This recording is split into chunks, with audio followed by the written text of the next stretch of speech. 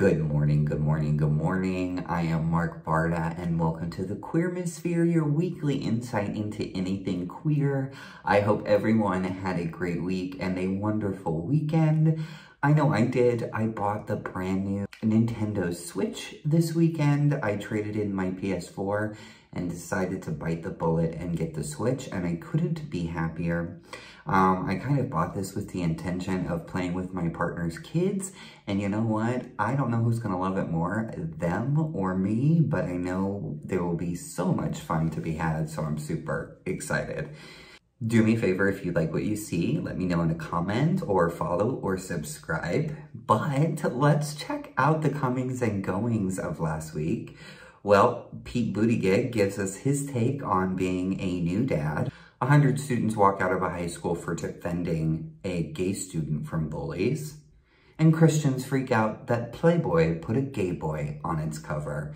Don't go anywhere but to refill your coffee and come back because we're about to get started.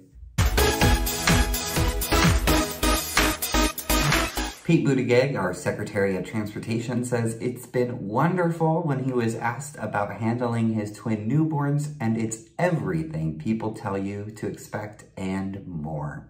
He said, it's the most demanding thing I've ever done, and I used to think 5 a.m. was early. Now I think it's nap time if I'm lucky, and yet I catch myself grinning all the time, and we're just over the moon.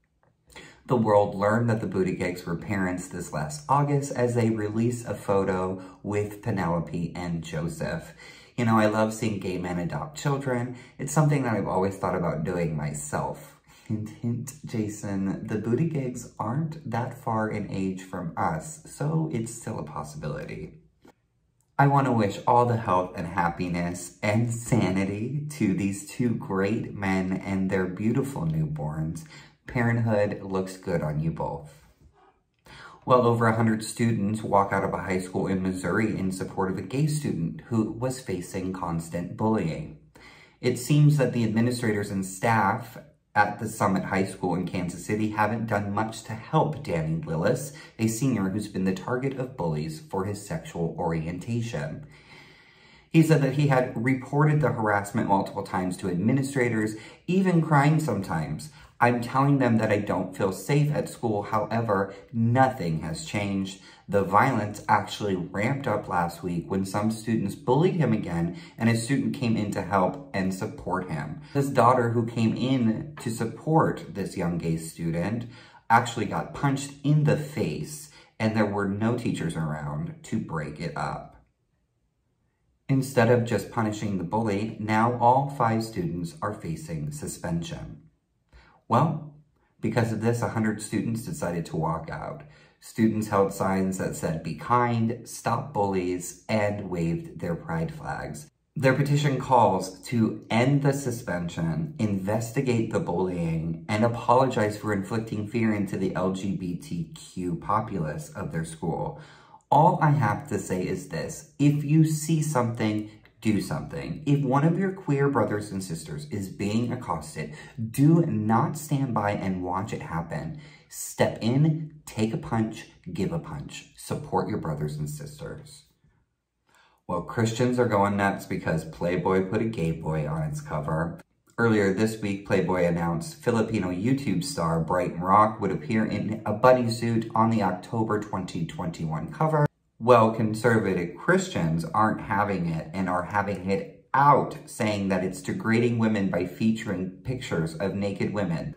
And now it's degrading to women by not having a woman on the cover of a porno magazine. Do you see how stupid you sound?